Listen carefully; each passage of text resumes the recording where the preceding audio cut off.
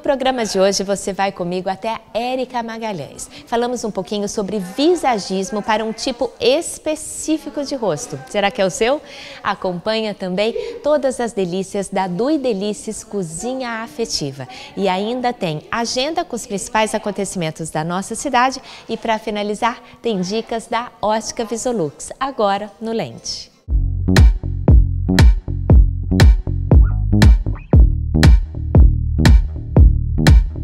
Programa agora fala sobre beleza. Eu vim mais uma vez na Érica Magalhães e a gente toda vez conversa um pouquinho sobre visagismo, tendências e muitas coisas, né, Érica? Agora, dessa vez, a gente resolveu falar sobre um assunto específico que gera muita dúvida e todo mundo vem aqui perguntando, né? Que assunto é esse?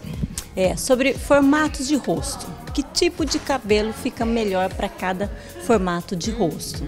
É, porque a gente sempre comenta, gente, do visagismo, de analisar isso e isso, e como eu disse, gera uma dúvida, e agora a gente vai falar de um formato específico.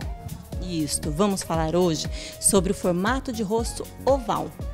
Que é muito comum. Que é, é bem comum. E eu vou dar um exemplo. O rosto da Lenice. Ah, o meu rosto, ele é um rosto oval. O que, quais são as principais características? O rosto oval, ele é o rosto mais proporcional que tem. Ele não é redondo, porém ele não é não tem linhas marcadas, retas. É um ovo, por isso que chama oval. Lembra um formato de, de ovo. Ele não é comprido demais da conta. Não é comprido, não é redondo e ele não é aquela, aquele formato quadrado que marca tipo o meu formato de rosto. É, que o ele é, já tem as linhas, e, as linhas bem marcadas. Isso é, é uma linha mais marcada, uma linha mais reta. E o oval é um formato de rosto que se encaixa em todos os estilos de corte. Ai, é... gente, que delícia! Agora então tá, então se encaixa, vamos lá. A gente sabe que são algumas tendências. Vou começar falando do meu, então, já que o meu rosto é oval, o meu, meu corte, é, ele ficaria, fica, cai bem. Se eu quiser mudar, deixar o cabelo crescer, por exemplo, funciona também? Funciona, Lenise. É assim, é o que eu sempre falo para o cliente. Primeira coisa, nós analisamos também a questão do temperamento do cliente, se ele se encaixa no estilo de cabelo, no estilo de corte. Porque tem pessoas que gostam de uma coisa mais ousada, tem pessoas que gostam de uma coisa mais clássica, tem pessoas que gostam de uma coisa mais despojada. Então, sim, também analisamos o perfil do cliente junto com o formato de rosto. E como o oval é um, é um formato que, que, que, facilita, né, que se encaixa todos os tipos de, de, de corte, o que, que nós vamos analisar? o perfil da cliente, o temperamento dela. Vou ter que oferecer para ela aquilo que se encaixa no perfil da cliente. Gente, isso é muito legal, porque de fato o corte de cabelo, ele mostra mesmo um pouco da personalidade, né, Érica? Muito, Lenice. É, é, o, o corte de cabelo, a roupa, tudo é, é, é, é, uma identidade da pessoa. Então, assim, a gente leva mais, eu, eu, eu, prefiro levar muito mais em consideração, lógico que tudo é um conjunto, o temperamento da pessoa, o perfil da pessoa, para depois a gente poder sugerir algum tipo de corte, porque tem vários infinitos cortes que se encaixam no rosto oval. Bom, então vamos lá, independente então do temperamento, que é uma coisa muito importante, a gente sabe então que oval tem algumas tendências aí. Agora o cabelo bem curtinho, oval comporta. Comporta. Ó, vamos começar do longo e vamos diminuindo, tá? Nós temos o long bob, que foi a bola da vez assim, que para quem não gosta de ousar tanto, foi super usado e ainda as pessoas estão usando, né?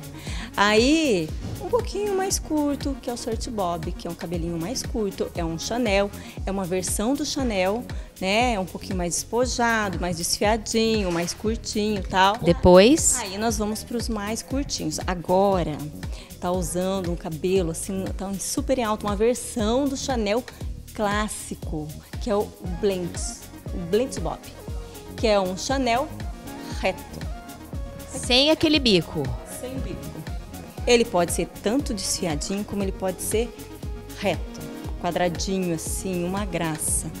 Olha, as meninas estão adorando e estão cortando bastante. Não tem bico. Ele vem reto de trás até aqui na frente. E ele tem um caimento reto também. Perfeito. E o bem curtinho, que eu tô vendo também que veio para ficar e um monte de gente de rosto oval querendo colocar e usar esse corte. Ó, o undercut que é o raspadinho, que a gente faz um franjão, que fica super charmoso, né? Estão pedindo bastante, eu tenho cortado muito esse estilo para as mais ousadas, para quem gosta de mudança. E também um corte masculino, só que uma versão feminina, que é o fade. Que é um Como que é? Degradê. Ele é um cabelo bem curtinho com a máquina, a gente começa bem curtinho, ele vai subindo e ele tem um franjão mais mais alongada. Aí ela pode usar de várias versões. É um cabelo muito charmoso. Mas como você mesmo diz, é questão de temperamento, né? Porque o rosto combina com tudo que eu posso usar um desse aí de homem para cabelo de mulher, porque não é a minha personalidade. Acho que é isso que é legal a gente comentar, né? Que o visagismo, como você falou no início, não é só falar, ah, fica bom para o rosto oval, você pode usar qualquer um. São muitas outras coisas. Muitas outras coisas. A gente tem que fazer essa relevância. Então, assim, é formato de rosto, mas eu tenho que analisar o temperamento, o perfil da pessoa para a gente poder se encaixar o corte perfeito. E para descobrir se você tem o rosto oval, triangular, quadrado ou redondo, tem que passar aqui, fazer esse visagismo para você fazer essa análise, né, Érica? Isso aí, Lenise. E aí nós vamos dando dica de outros formatos de rosto também. Então fica a dica para vocês aí. E no próximo bloco eu volto com mais uma novidade aqui no Lente.